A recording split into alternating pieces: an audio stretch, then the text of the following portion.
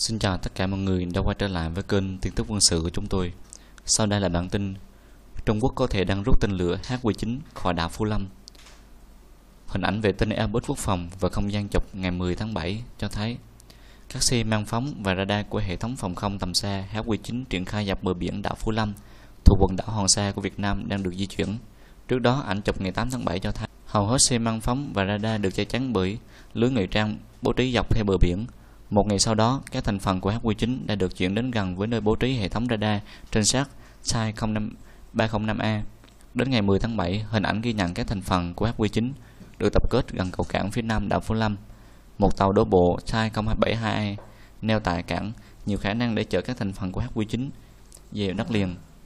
Trong quốc phòng, Gen Defense Whitley nhận định hệ thống phòng không HQ9 có thể được đưa về đất liền để bảo trì sau thời gian triển khai trái phép từ đầu tháng 2 do trên đảo không có nơi lưu trú cho tên lửa. Việc rút hệ thống HQ9 trùng với thời điểm kết thúc cuộc tập trận lớn trên Biển Đông ngay trước phán quyết của tòa trọng tài về vụ kiện Philippines và Trung Quốc trong nhà chấp lãnh thổ ở Biển Đông. Hệ thống phòng không HQ9 có tầm bắn tối đa 200 km và việc Trung Quốc triển khai trái phép hệ thống phòng không này gây mất ổn định và đe dọa an ninh Biển Đông, không dừng lại ở đó bất chấp sự phản đối của cộng đồng quốc tế Bắc Kinh còn điều máy bay tiêm kích C-11 tên lửa chống hạm tầm xa tới hòn đảo này.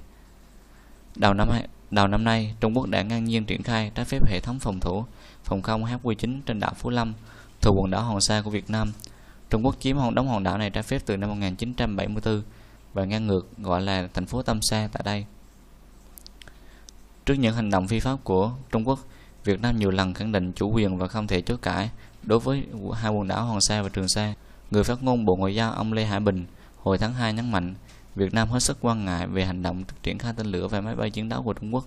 Đây là những hành động xâm phạm nghiêm trọng chủ quyền của Việt Nam đối với hòn đảo Hoàng Sa, đối với quần đảo Hoàng Sa, sự đe dọa hòa bình và ổn định trong khu vực cũng như an ninh, an toàn, tự do hàng hải và khăn không ở biển Đông.